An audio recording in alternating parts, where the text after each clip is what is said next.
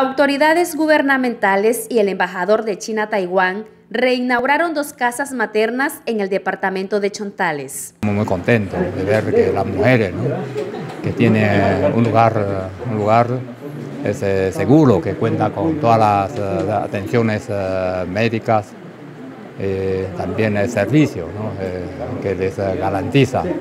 Es un proyecto de amor, un proyecto de alegría, porque las mujeres embarazadas siempre nos garantiza una nuevas generaciones. Por eso tenemos que cuidarlas, tenemos que darles la mejor atención. Un proyecto de amor, es un proyecto de vida, ¿verdad? De esperanza para la familia y lo decíamos en el acto, pues.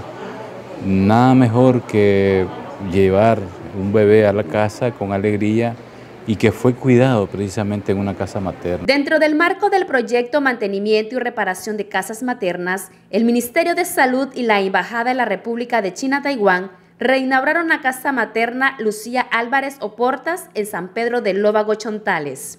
Que nos ha ayudado a seguir adelante y el apoyo que nos ha dado en la casa materna. Que vengan pues porque es de algo bueno, eh, nos atienden bien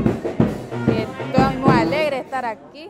Con una inversión de 273.363 córdobas es como se logró la rehabilitación completa de la casa materna del municipio de Acoyapa Chontales gracias a la cooperación del gobierno de China Taiwán. Gracias a Dios yo me siento pues bien, bien agradecida porque los han atendido pues bien.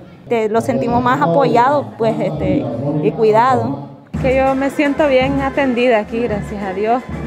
Siempre las revisiones, los médicos están atentos, siempre tarde y mañana los están viniendo a revisar. Eh, nos vamos a trabajar al área de manualidades y ahí aprendemos a hacer piñata, este, tejido, bordado, costura.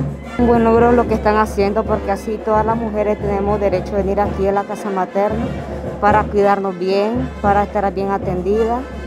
Y es un logro pues que bien, bien hecho que ha hecho el comandante Daniel.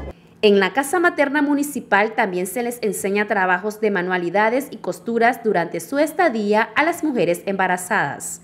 Multinoticias, Judelis López.